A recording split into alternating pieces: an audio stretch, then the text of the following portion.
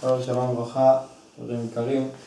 אה, רציתי לגעת בנקודה אה, מעניינת, פרשת שבוע, אבל דווקא להתבונן בה דרך אה, תורתו של הרב קרליבך, זכותו יגן עלינו, באמת זו ההזדמנות להגיד אחד מהצדיקים בדורנו, היורצייט שלו בדיוק חל ביום ראשון, מוצאי שבת, אז ראיתי איזה תורה בספר חדש שיצא, אז אני אגיד את התורה, נראה לי ממש משקפת גם את האמונה של הרב קרליבך עצמו, איך הוא מתבונן על העולם, בוודאי שזה יכול להעיר לנו על דמותו של אברהם אבינו.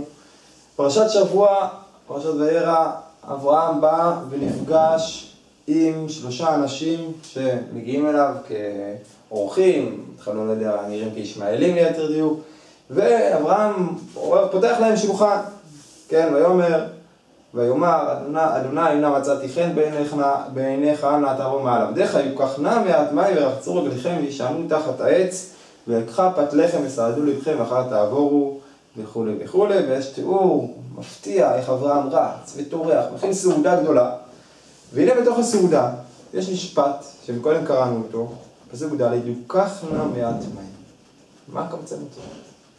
מה, למה מעט מים? הרי אתה עורך סעודה גדולה, מה קרה? מסביר הרב קרליבך הסבר עצום, והוא אומר, למה אברהם זכה למה שזכה. למה אברהם זכה לגילוי דיבור עם השם ופיתוח עם ישראל בשונה מנוח? שנוח אולי נסע את הסגולה, כוזרי אומר, אבל בסופו של דבר אברהם אצלו התגלה, התגלה הכל. למה אצל אברהם הגיע פיתוחו של עם ישראל ואצל נוח לא? אז ידעו ההבדלים, הוא לימד זכות על בני דורו, הוא לא לימד זכות, אבל הרב קרליבך אומר, הוא נכנס לשורש. למה באמת נוח לא, לא לימד זכות על בני דורו? מה, למה נוח מה? הוא לא ידע שיכול אמ, אולי לבקש, אולי ללמד את, ישראל, את, את דורו איך לחזור בתשובה. נתבונן אצל אברהם, אברהם בא, מתווכח עם הקדוש ברוך הוא, אולי יש חמישים, התחיל משא ומתן. מה אברהם חושב? מסביר הרב קרליבך יסוד עצום. נוח חשב שבסדר, יש טבע, יש, יש עולם, העולם לא הולך עם דרך השם, העולם מלא תאוות, מלא קושי, מלא רע. אז בסדר, יש גם טוב, אבל נוח בפנימיותו הבין שהטוב הוא טוב, אבל הטוב לא מסוגל לנצח את הרע. אם הטוב לא מסוגל לנצח את הרע, אז אין לי מה לנסות להציל את העולם. מה שהרע יימחק, ואולי ננסה להתחיל משהו חדש. הטוב נמצא בתיבה, הטוב לא יכול להתגלות, אז אין עניין גם ללמד זכות על, המס... על, על, על הדורות. לעומת זאת, אברהם, מה הוא חשב? אברהם חושב, תן לי כך וכך צדיקים, מי יהיו צדיקים? אני, אני הופך את סדום. אני מציל את סדום. לא כי הם יעמדו זכות, כי יהפכו באמת את סדום. ברגע שיהיו שם חמישים אדמו"רים, סדום לא תהיה סדום. לא צריך להחריב את סדום. לכאורה, טענתו של נוח היא חזקה. מתבוננים בעולם הרחב, בצורה מדעית, בצורה יוונית, כמו שהרב קרליבך אומר. באמת, עם ישראל ארץ ישראל היא ארץ קטנה, עם קטן, מול עולם גדול, אין סיכוי. הרע גדול בעולם, והעולם קטן. והנה בנו אברהם ואומר לנו, לא, מלמד אותנו, למרות שהטוב הוא קטן אולי, ובאמת מבחינה הסתכלות ראשונית, נוח צודק, בא אברהם ומנחיל לנו איך צריך להתבונן על העולם.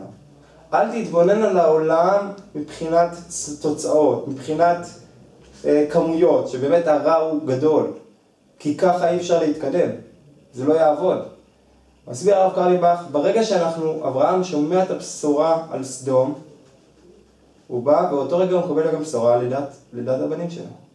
רק אדם, כמו אברהם, שמסתכל ככה על המציאות יכול להביא ילדים שיכולים להנחיל לעם ישראל את התורה.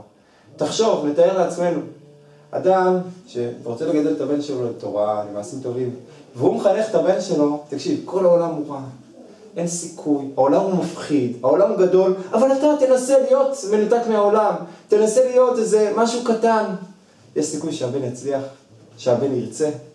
מסביר אברהם לנו, ההסתכלות היא הפוכה.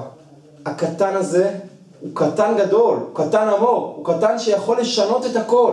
רק ככה אפשר להעמיד את עם ישראל. ככה, רק ככה אפשר להביא את יצחק לעולם. יצחק יכול להגיע לעולם רק ברגע שאנחנו נבין ונפנים שהטוב המועט יכול לנצח את הרע.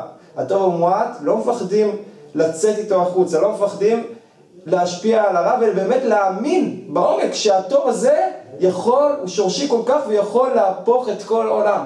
וזה מה שאברהם בסופו של תהליך בא ומסתכל על סדום ואומר משק, משקיף, כן? וישקף אברהם אחרי כל החורבן, הוא לא מפחד להסתכל ברע ולנסות לתקן מה שהוא יכול לתקן.